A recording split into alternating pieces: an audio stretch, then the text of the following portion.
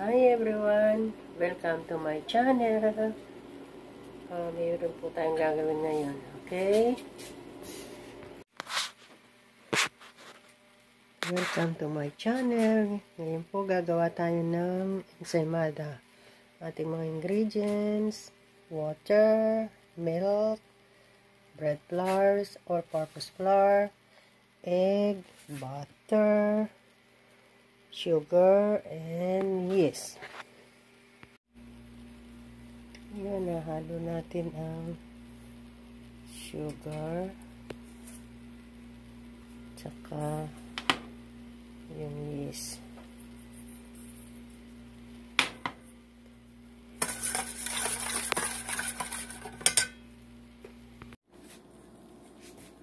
Ito na, na rice na yung ating uh, yeast. Ihalo na natin dito.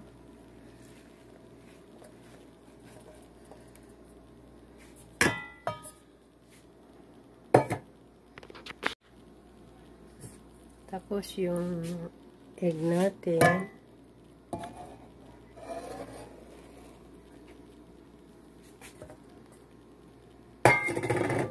Tapos yung milk.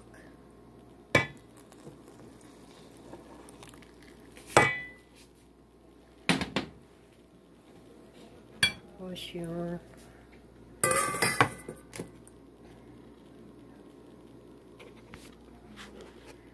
Tapos nahulog ko na lang yung butter. And then nahaluin.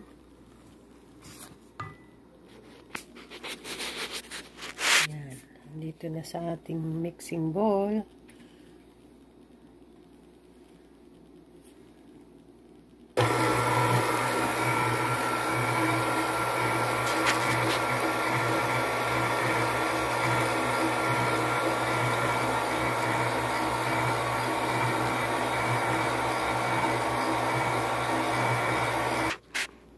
Ito na po siya.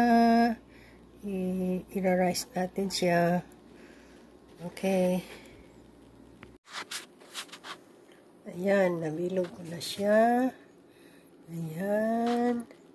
Tapos, tatakpan natin para mag-rice siya ng konti pa. Ayan, nakatakip na.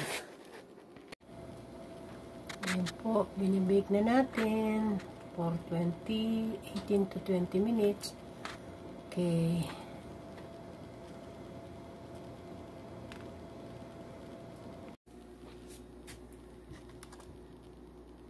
Na po siya.